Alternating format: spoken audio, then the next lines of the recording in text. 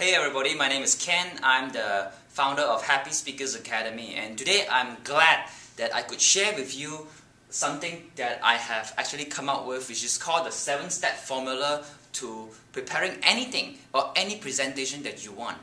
This 7-step formula is what I have actually developed from studying many books on presentation skills and from all the audios that I have actually listened to, all the videos and all the seminars and also some of the, the real life experience that I have put into use in preparing a 5 to 7 minute speech to a 30 minutes long speech and you can use the same formula as well in your next presentation. Have you ever have this challenge where you try to prepare your speech you sit down on a desk and you try to come up with ideas and you have this looping ideas. You want to talk about this and then as the time goes by you crafted a few sentences and then you go around and say oh maybe this is not a good thing. I should change uh, the way I should present. I should change a different topic. And because the reason we have that because we do not have a clear idea of exactly how to begin, how to flow through the presentation to the end.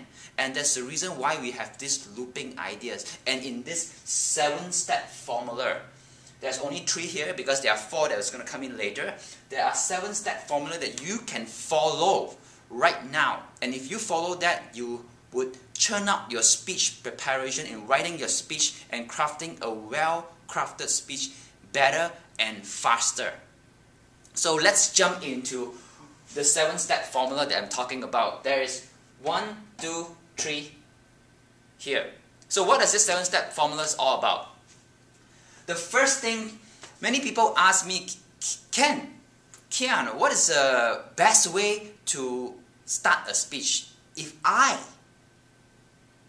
was to give given a choice on how I want to start a speech, my preference is always start with a questions.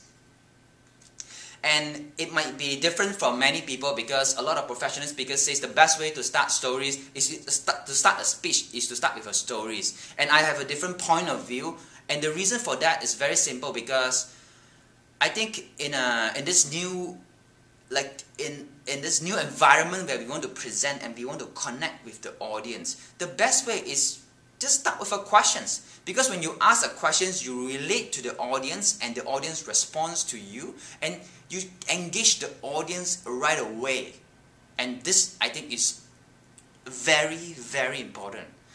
And if we start with a stories, which is good because stories emotionally connect you with the audience. But it oftentimes, story takes a while before you can introduce the character, the plot into the stories before you can engage the audience.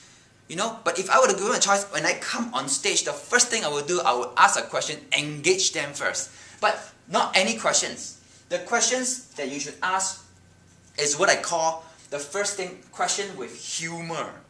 The first thing I want to do, I want to ask a framing questions. A what question?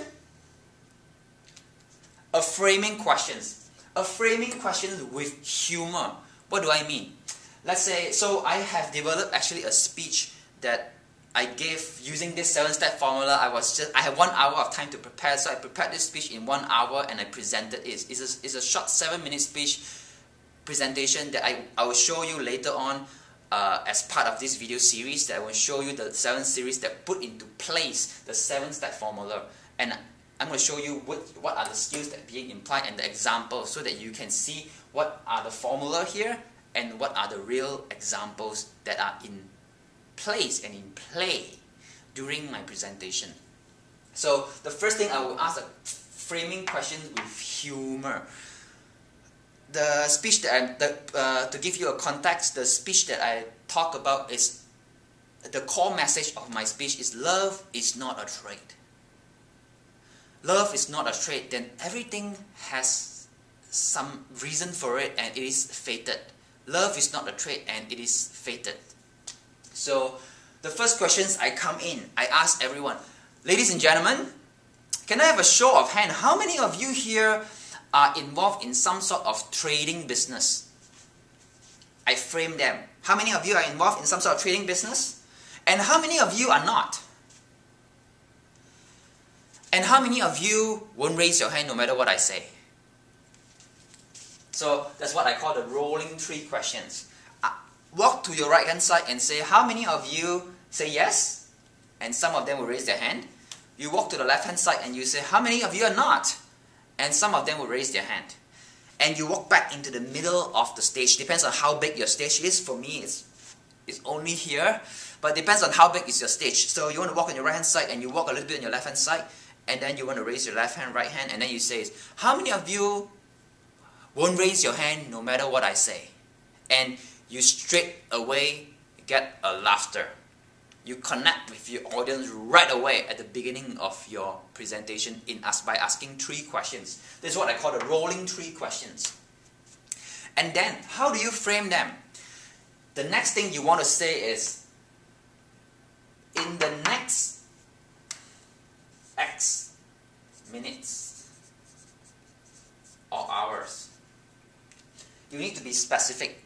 So after I ask the two, the three questions, the rolling three questions, the next thing that I want to say is, then in the next 8 minutes and 45 seconds, you will realize that whether you raise your hand or you don't, you are in some sort of trading business. Do you see three questions followed by this? This you have to be specific. Many people say, "Oh, today you will learn X, Y, Z." Boom, boom, boom, boom, boom. But that's nothing. You say in the next 34 minutes, you will discover that you are in fact in a trading business. You will discover, you will realize, you will you will learn. You know, you want to tell them what which minute exactly. Be specific in terms of when you're describing something. So, so let's go on to the second one. The